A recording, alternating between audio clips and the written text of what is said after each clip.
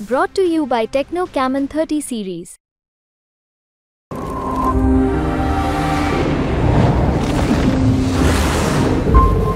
आप भी जाते हैं माँ के साथ मजदूरी हाँ करने जी जाते हैं। जैसे क्या क्या करते हैं? मैम आप तो जीरी लगाएँगे। हाँ जी। वो भी तीन सौ तीन, सौ दिहाड़ी पड़ेगी के बना उसमें घर का काटांगे कहाँ मैं बच्चे ने पढ़ावांगे? एक दिन का तीन सौ रुपये की दिहाड़ी। और तीन सौ ये भी सारा दिन पानी चढ़ाएँगे कभी चार सौ पड़ जाएगी कभी तीन सौ पड़ जाएगी दो सौ भी पड़ जाएगी। भाई इतनी पढ़ाई कर ली माँ बाप अपना दिहाड़ी कर कर पढ़ा दिए। ऐसा तो कौन कोस अभी नौकरी पे लग गया भाई हो जाएगी कुछ घर की सहूलियत है हम यहाँ कुरुक्षेत्र लोकसभा के गाँव का दौरा कर रहे हैं और मुझे देर साँझ यहाँ ये एक लड़की मिली। इन्होंने कई सारी जो है वो समस्याएँ गिनाई इनकी। इन्होंने ये भी बताया कि फ़िलहाल पढ़ाई इनकी नहीं हो रही है पढ़ाई छूटी हुई है। नहीं पढ़ाई तो मैं कर रही हूँ एमए फाइनल ईयर में जैसे सेकंड ईयर में हूँ। तो ऐसी स्कॉलरशिप है जैसे हमारी ऐसी स्कॉलरशिप मिलती है तो उसके बोलते हैं कि ऐसी स्कॉलरशिप पे आपका एडमिशन हो गया।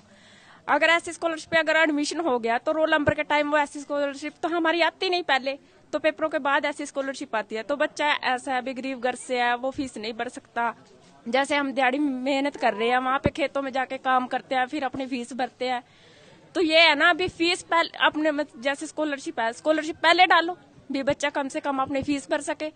तो स्कॉलरशिप आएगी नहीं, बच्चा फ़ीस नहीं भरेगा तो उसके पेपर रुक जाएँगे। अब मेरे पंद्रह दिन पेपर के रह गया मैम।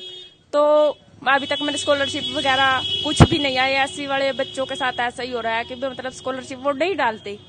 तो उसके बाद, अब मेरा रोल नंबर रुका हुआ है, पंद्रह दिन के बाद मतलब अगर मैं फ़ीस भरूँगी तो मेरा रोल नंबर आ जाएगा।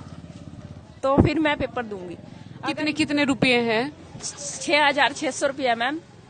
छियासठ सौ रुपया जैसे हमें फ़ीस भरनी पड़ती है ऐसे स्कॉलरशिप एम ए डिस्टेंस से एजुकेशन से। अच्छा तो रेगुलर ना जा रही है आप? रेगुलर नहीं हूँ मैम डिस्टेंस एजुकेशन से हूँ। रेगुलर तभी जाएँगे ना अगर हमें कोई सुविधा मिलेगी। अब जैसे हम खेत में काम करते हैं गरीब है खेतों में काम करके फिर अपने पैसे कमाएँगे फिर फ़ीस भरेंगे। और बुक जैसे डिस्टेंस एजुकेशन की बुक्स है, उस पर प्रिंट ही नहीं है बदिया वाला। बिल्कुल ही खराब प्रिंट है। भी बच्चे फिर पे क्या करते हैं, वो प्रिंट खराब होगा तो पढ़ेंगे कैसे? फिर अपने पैसों से वो बुक्स लेंगे, फिर वो पढ़ाई करेंगे। तो अगर ये सुविधाएँ बच्चों को तो नहीं मिल रही ना। स्टूडेंट जैसे अब कई लड़कियाँ ऐसी हैं, बेचारी घर बैठ के पढ़ाई करती हैं, काम करती हैं, और उनको फिर भी कोई मतलब ऐसा मतलब लड़कियों को कोई सुविधा नहीं है। अब हमारे गुमथला गढ़ू में ही ला लो आप। जैसे हमें बस की कोई सुविधा नहीं है। बस की कोई सुविधा नहीं है यहाँ से हम चालीस रुपए लगा के तो पे जाएँगे। तो वहाँ से हम फिर आगे लगेंगे हमारे पचास रुपए तो हमें सुविधा किस चीज़ की है? कोई बस की सुविधा नहीं है लड़कियों को किसी भी प्रकार की कोई भी सुविधा लड़कियों को नहीं मिल रही है यहाँ पे। लड़कियों का स्कूल कितने तक का है? गुमथड़ा? प्लस टू तक का है मैम स्कूल तो। फिर उसके आगे पढ़ाई के लिए पिहोवा जाना पड़ता है जो कि शहर है यहाँ इलाके का। शहर है तो कुरुक्षेत्र यूनिवर्सिटी से जैसे मतलब एमए और मतलब बहुत सारी है एजुकेशन मतलब सरकारी कॉलेज में आप आसानी से कम पैसों में पढ़ सकते हैं हाँ। लेकिन उसके लिए आपको गाँव से शहर जाना होता है। जाना पड़ता है चालीस रुपए लगते हैं यहाँ से मैम पेहेवा के और यहाँ बस कोई सुविधा नहीं है लड़कियों के लिए भी बस टाइम पे आए भी यहाँ से बस में बैठ के लड़की चले जाए फिर अपने आगे से फिर पचास रुपये लगा के जाती है वहाँ पे। तो कितनी लड़कियाँ हैं होंगी ऐसी कि जो आगे पढ़ पाई हैं या आपके साथ की हो उनका जरा बताएँ। मैम छह सात ही है अभी तो। मतलब काफ़ी थी पहले टाइम पे कर गई है वो ऐसे ही गई है वो भी हमारी तरह जैसे हम जा रहे हैं यहाँ से। हाँ जी।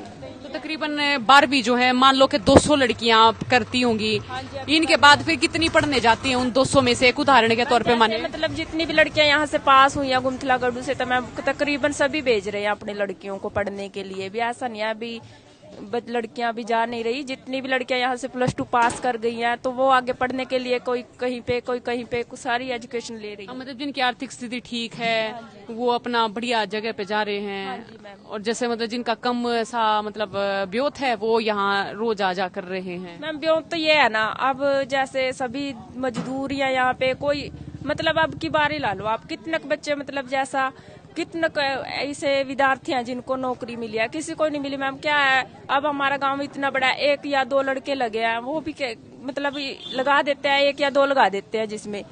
तो कह देते हैं, हमने नौकरी लगाई है बच्चे। तो उनको सुविधा तो कौन है अब कौशल रोज़गार से ही ला लो। अब कौशल रोज़गार निगम छेड़ रखा है। अभी कौशल रोज़गार मिलेगा आपको। तो उसमें कौशल रोज़गार में भी कोई मतलब बच्चे फॉर्म भर देते हैं, उसमें तीन सौ तीन सौ रुपये फ़ीस लगाई रखी है। तो वो तीन सौ फ़ीस भर दी उन्होंने। तो कोई कौशल रोजगारों का भी कोई भी बच्चों पे वो नहीं आ रहा है। अभी आप यहाँ पे आओगे काम करो तीन सौ रुपये भी गए। हाँ जी तीन सौ अपने घर से लगाए और कौशल वालों में भी किसी का कोई भी नाम अब जैसे अब आपने मतलब जो एससी स्कॉलरशिप मिलती थी उसके तहत आपका खर्च निकल जाया करता था। खर्च भी क्या है मैम अब मतलब छियासठ सौ रुपये फ़ीस मिली वही वहीं पर भर दी। तो जो मतलब हमारा किराया भी बीच में आ गया अब आप लगाओ चालीस रुपये हर रोज के बनते हैं। तो बारह सौ रुपये एक महीना का हो गया तो तीन साल जाना है जिसको लड़कियों को मतलब तीन साल अब बीए में जाएगी वो तो तीन साल का इक्कीस हज़ार रूपया बनता है उसका तो कैसे तीन साल में एक बार मिलती है स्कॉलरशिप हाँ नहीं स्कॉलरशिप तो मैम साल में मिलती है तो साल में अगर स्कॉलरशिप मिलती है तो भरनी तो वो पड़ती है ना फ़ीस मतलब उसका आगे का खर्चा तो ये तो नहीं है अभी उसके बुक्स का भी खर्चा है और उसके आने जाने का भी खर्चा है। ये तो अपने माता पिता ही दे रहे हैं। दिहाड़ी मजदूर करके उनको खर्चा देगी बारह सौ रुपये तो उन लड़कियों के लिए किराया निकाल लेगी। आप भी जाते हैं माँ के साथ मजदूरी हाँ करने जी जाते हैं। जैसे क्या क्या करते हैं? मैम अब तो जीरी लगाएँगे। तो जिस बच्ची को आपने सुना आ, उनकी माँ यहाँ मेरे साथ हैं। अब जैसे आपकी बेटी ने बताया कि पैसे नहीं थे तो रोलंबर रोक दिया गया। रोक रखा जी। रोल नंबर दे नहीं रहे। स्कॉलरशिप है नहीं रही। गरीब बंदा दिहाड़ी करके लिया आवा। और दिहाड़ी भी नहीं टाइम पे मिलती चार बच्चे हैं। चार कोस अभी तक नहीं लाग पाया। मानने के मेरा मन तो सारी सरकार एक साल लाग गया मारा तो किसी ने अभी तक भला नहीं करया कोई। हम्म? ये मतलब आपकी दो बच्चियाँ हैं और दो बेटे हैं दो बच्चे दो वो बच्चियाँ जो हैं वो सुबह अपना कॉलेज का काम करके आती फिर मजदूरी करती।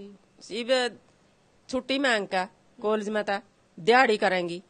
दिहाड़ी करके फिर एक आधा दिन उसमें स्कूल में भी जा मतलब बचपन से ही इस तरह कर यूँ हाल है जी मारा तो। हम्म? इसका बाप ढीला रहे करता पहला मैं ढीली रही। ढीले रह रहा कभी फिर कई करम भूखे मर दे तो काम करेगा। मतलब कैसे कि स्वास्थ्य नहीं था सही। कुछ नहीं था जी मार तो वैसे दिहाड़ी करा अपना पेट भर रहे। हैं किसी ने कुछ नहीं करा मारा तो। हम्म? ये संदीप सिंह इसी एरिया के हैं कभी नहीं आए। मानना तो संदीप को नहीं आया। मानना तो ये सरकार देखी आई का कह रहे हैं कांग्रेस का बनावांगे। कांग्रेस ने भी देख लेंगे? हाँ? आप भी मेहनत मजदूरी ही करते हैं सुबह से शाम तक की इस बेरी ऊट का काम घर का करके जाएँगे सारा दिन पानी में तपांगे हम तो। जीरी लगाओगे। जीरी लगावांगे। वो भी तीन सौ तीन, सौ दिहाड़ी पड़ेगी के बना उसमें घर का काट डांगे काम है बच्चे ने पढ़ावांगे। एक दिन का तीन सौ रुपये की दिहाड़ी। और तीन सौ भी सारा दिन पानी चढ़ाएँगे। कभी चार सौ पड़ जाएगी कभी तीन सौ पड़ जाएगी दो सौ भी पड़ जाएगी। हम्म? उसमें देख लियो के तो बच्चे ने पढ़ावांगे के खड़ावांगे के पढ़ावांगे। और बच्ची आपकी सरकारी कॉलेज में पढ़ रही हैं? हाँ सरकारी में।